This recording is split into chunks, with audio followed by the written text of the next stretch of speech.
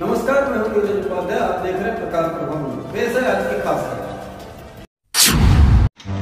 UP के लखनऊ में corona संक्रमण कम होने पर स्वास्थ्य कर्मियों को निकाला गया। केजीएमयू के कोविड वार्ड में काम कर रहे स्वास्थ्य कर्मियों को निकाला गया। स्वास्थ्य कर्मियों का आरोप, सीनियर डॉक्टरों ने बोला, नहीं है अब कोविड वार्ड में मरीज़। अब नहीं है आप लोगों की ज़रूरत।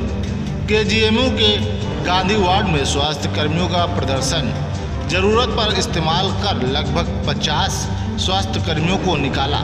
केजीएमयू के रजिस्ट्रार ऑफ़िस का घेराव कर रखी मांग। वार्ड बॉय स्वीपर हेल्पर को काम से निकाला गया।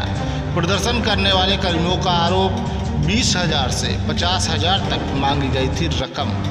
पैसा लेकर पेमेंट करने को दिया गया था आश्वासन। अपने परिवार के फ़िक्र न कर कोरोना महामारी में कोविड वार्ड के मरीजों की की थी देखभाल।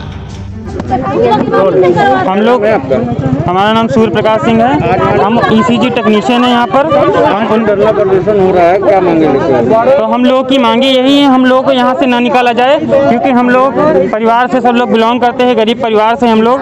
जहाँ लोग हम लोग ड्यूटी कर रहे थे हम लोग को आश्वासन दिया गया था कि आप लोग नब्बे दिन काम करके यहाँ पे आपको लोग परमानेंट कर दिया जाएगा। उसके बाद यहाँ पे कल ही आपको सूचना मिल गई कि यहाँ से आप सब लोग को निकाला जाएगा जिसको जहाँ पे नौकरी मिले वहाँ पे नौकरी कर लीजिए। डेढ़ महीने से एक रुपये सैलरी नहीं मिली किसी को। किसी को सैलरी मिली है कि नहीं मिली? हमारी मांगे हम लोग को ये मेडिकल कॉलेज में बीस मई बीस मई को नौकरी दी गई दी गई थी। ये कहा गया कि आप लोग को यहाँ नौकरी दी जा रही कोविड विभाग में। हम लोग ने यहाँ नौकरी करी गरीब आदमी थे, इसी लालच में कि चलो हम लोग सरकारी अस्पताल लगे रहेंगे तो बच्चों का पेट भरता रहेगा। हम लोग से झूठ बोल के ये कहा गया कि तीन महीने तक कि आप लोग को करना है, उसके बाद आप लोग को कहीं ना कहीं हम लोग अर्देश कर देंगे। हम लोग ने इतनी महामारी में काम किया यहाँ।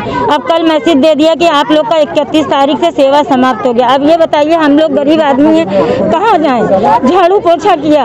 इस महामारी में जो कभी घर से हम लोग निकलने वाले नहीं थे, आज हम लोग ने बिना गिलफ्स के बिना किसी चीज़ के हम लोग जो बॉडी पार्क कराई गई है।